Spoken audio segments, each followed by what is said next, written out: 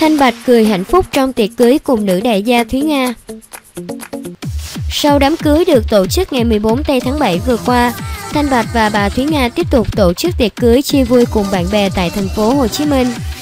Tối ngày 19 tây tháng 7, Thanh Bạch và bà Thúy Nga đã tổ chức tiệc mừng đám cưới tại một quán bar nhỏ ở thành phố Hồ Chí Minh. Sự kiện có sự tham dự của nhiều nghệ sĩ là bạn bè đàn em trong nghề của nam MC và bà chủ trung tâm ca nhạc hải ngoại. Đây là bữa tiệc mà cả hai muốn chia vui cùng bạn bè và chuẩn bị cho chuyến từ thiện vào ngày 21 tây tháng 7 sắp tới của mình. Thanh Bạch chia sẻ, đây là một đám cưới nghệ thuật, là một cách để họ gây quỹ lấy tiền mừng cưới giúp người nghèo, những người cần giúp đỡ. Cả hai chỉ song hành với nhau là bạn đời của nhau trên con đường nghệ thuật. Trước đó vào ngày 14 tây tháng 7, đoạn clip đám cưới của Thanh Bạch và nữ đại gia này được chia sẻ trên mạng xã hội, khiến nhiều khán giả bất ngờ. Hôn lễ của cả hai được tổ chức bí mật tại quê nhà của bà Thúy Nga ở Long Thành, Đồng Nai, với khoảng 200 khách mời và không có sự tham gia của báo chí. Lễ cưới được nghệ sĩ Phú Quý chủ trì. Thanh Bạch cho biết đây là lần thứ 8 anh làm đám cưới với bà Thúy Nga.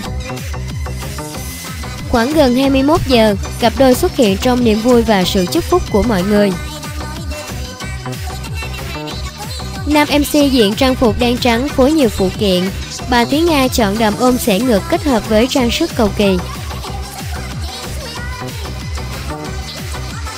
Cả hai khoác tay nhau tình tứ, liên tục cười nói khi tiến vào trong. Khách mời trong đêm tiệc là những người thân đồng nghiệp trong nghề của Thanh Bạch và Thúy Nga. Dàn sao Vbiz nô nức tham dự đám cưới của MC Thanh Bạch và Thúy Nga. Đám cưới lần thứ 9 của Thanh Bạch và Thúy Nga diễn ra ở thành phố Hồ Chí Minh thu hút sự quan tâm chúc mừng của nhiều nghệ sĩ trong showbiz. Đúng như thông báo từ trước, tới ngày 19 tây tháng 7, Thanh Bạch cùng bà chủ trung tâm ca nhạc Thúy Nga ở Mỹ đã tổ chức lễ cưới lần thứ 9 tại thành phố Hồ Chí Minh. Tiệc cưới được tổ chức tại một quán bar nhỏ ấm cúng ở trung tâm Sài Gòn và các khách mời sẽ có một đêm chung vui đúng nghĩa cùng với hai nhân vật chính. Theo như chia sẻ của chính chủ, đây là đám cưới được tổ chức nhằm mục đích từ thiện vì cả Thanh Bạch và Thúy Nga đều là những người làm nghệ thuật và có cùng lý tưởng khi thực hiện hoạt động xã hội này. Thanh Bạch là MC kỳ cựu trong showbiz Việt, còn Thúy Nga là bà chủ trung tâm ca nhạc lớn ở Mỹ. Vì thế, cả hai nghệ sĩ đặc biệt có mối quan hệ rộng rãi trong lĩnh vực nghệ thuật. Thanh Bạch chia sẻ rằng, khi biết được mục đích tổ chức đám cưới của cả hai, nhiều bạn bè làm nghệ thuật đã đồng lòng ủng hộ.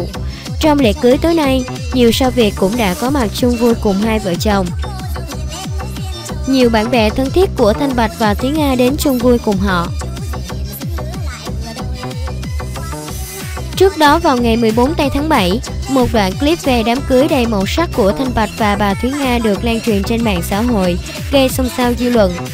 Sau đó, nam MC kỳ cựu đã lên tiếng đến chính, đây chỉ là đám cưới nghệ thuật với mục đích từ thiện mà anh cùng người bạn đồng hành của mình thực hiện. Sau lễ cưới một ngày, cả hai đã có chuyến từ thiện đúng như lời hứa tại máy ấm tại Củ Chi, thành phố Hồ Chí Minh. Xin cảm ơn tất cả các quý vị và các bạn đã đồng hành cùng tin tức sao Việt trong thời gian qua. Chúng tôi mong rằng các quý vị và các bạn hãy tiếp tục ủng hộ cho tin tức sao Việt để chúng tôi có thêm nhiều động lực cho ra mắt thật nhiều sản phẩm hay hơn để phục vụ cho quý vị và các bạn nhé. Một lần nữa, chúng tôi xin chân thành cảm ơn quý vị và các bạn rất nhiều.